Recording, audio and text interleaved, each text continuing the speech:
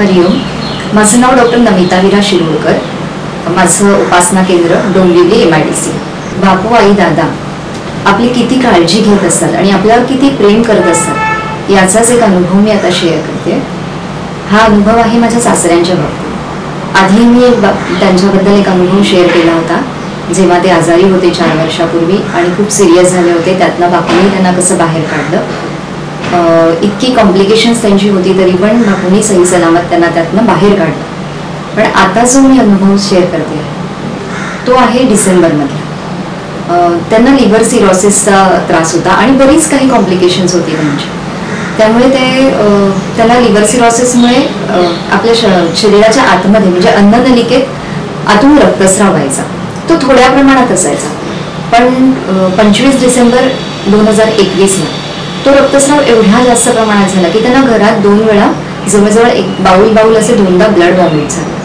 त्यामुळे आम्हाला खूप भीती वाटली. आम्ही लगेच त्यांना आयकॉन हॉस्पिटलमध्ये ॲडमिट केला. त्यांनी डॉक्टरनी त्यांना आय सी यूला शिफ्ट केलं. आणि सत्तावीस डिसेंबर दोन हजार एकवीसला डॉक्टर म्हणाले की यांच्या आम्ही काही त्यांना आता यावेळेस वाचू शकत नाहीये. कारण त्यां- त्यांची बॉडी काही रिस्पॉन्डच करत नाही आणि ॲक्च्युली मी माईल पंचवीस डिसेंबरला सव्वीस डिसेंबरला मी लीलम डॉक्टर डॉक्टर लीनमविना पडे पडेलकरांना मी फोनही केला होता की असं असं झालं आहे.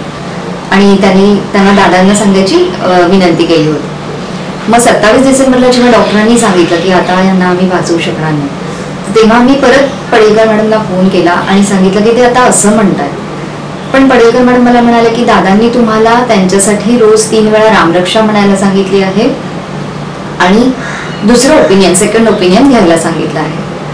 तर आम्ही ग्रामरक्षा म्हणायला सुरुवात केली सगळ्यांनी आणि खरोखरच सत्तावीस डिसेंबर नंतर त्यांची पुन्हा परिस्थिती सुधारायला लागली.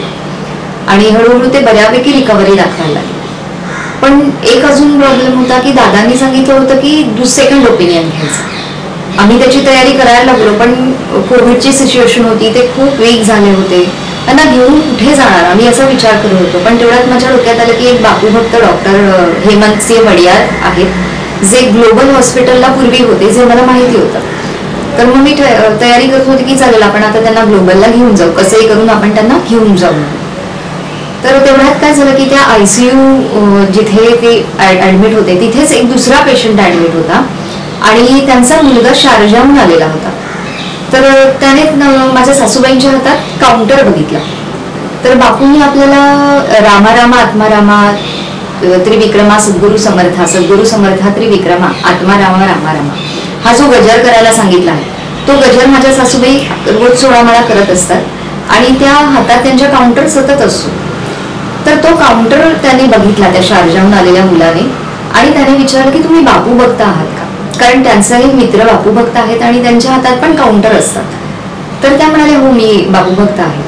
मग त्यांनी त्यांना विचारलं की माझे काका पण बापू भक्तच आहेत आणि ते हिपॅटॉलॉजिस्ट आहेत आणि ते दुबईला असतात. तर आता तुमचे जे मिस्टरांचा जो सगळं कॉम्प्लिकेशन आहे तर आपण त्यांना विचारूया का? तर त्यांना खूप बरं वाटलं. कारण ऑलरेडी दादाही म्हणाले होते की सेकंड ओपिनियन घ्यायचं आहे आपल्याला. तर आम्हाला खूप बरं वाटलं. मग तो म्हणाला ठीक आहे आता ते युएस ला गेलेले आहेत. आपण त्यांना रात्री फोन करू. आणि त्याप्रमाणे त्यांनी रात्री साडे अकरा वाजता त्यांना फोन लावला. फोनवर मग ते माझ्या सासूबाईंशी बोलले. माझ्या सासूबाई ही पॅरामेडिकल आहेत नर्स होत्या. त्याच्यामुळे त्यांनाही सगळी परिस्थितीचं माहिती होती. त्यांनी सगळं त्यांना सांगितलं की असं असं झालेलं आहे. तर ते म्हणाले की तुम्हाला एकूणच तुम्ही जे काय सांगितलंय त्याच्यावरून त्यांची कंडिशन खरोखरच आता सध्या बरोबर नाहीये पण तरी पण तुम्ही बापूंवर सोडा. त्यांच्यासाठी जे काय उचित आहे ते बापू डिसिजन घे. आणि हे म्हटल्यानंतर त्या थोड्याशा शांत झाल्या. आणि नंतर मग त्यांनी मला फोन केला. तर मग त्यांनी हे सगळं सांगितल्यानंतर मी पण मलाही बरं वाटलं कारण दादांचे वर्ड्स होते की सेकंड ओपिनियन घ्यायचं आहे. आणि मला बरं वाटलं की सेकंड ओपिनियन मिळालं मग मी त्यांना विचारलं की त्यांना विचारा ना तुम्ही कुठल्या डॉक्टर म्हणजे तुम्ही जे फोन लावलेला ते त्यांचं नाव काय? तर मग यांनी विचारलं सासूबाईंनी की कुणाला आपण कुणाशी आपण बोललो? तर ते म्हणाले की डॉक्टर हेमंत वडियार तर आम्हाला लिटरली म्हणजे मला जेव्हा हे कळलं तेव्हा माझा विश्वासच बसेना की ज्या व्यक्तीला भेटण्यासाठी आम्ही हटापिटा करत होतो त्या व्यक्तीने डायरेक्ट म्हणजे त्याचं कनेक्शन डायरेक्ट बापूंनी जोडून दिलं. की आम्हाला एवढेही थोडेसेही कष्ट घ्यावे लागले नाही. तिथे बसल्या जागी आम्हाला त्यांचं ओपिनियन दादांनी मिळवून दिलं आणि दादांचे वर्ड्स खरे झाले. नंतर ते घरी पण आले डिस्चार्ज होऊन. ते थोडे दिवस घरात राहिले. पण सोळा फेब्रुवारी दोन हजार बावीसला त्यांचा देहांत झाला. पण आणि जेव्हा त्यांना ही सगळी प्रोसिजर चालू होती तेव्हा कंटिन्युअस रामरक्षा आमच्या घरात दादांनी सांगितल्याप्रमाणे चालू ठेवली. अंबज्ञ नाथसंग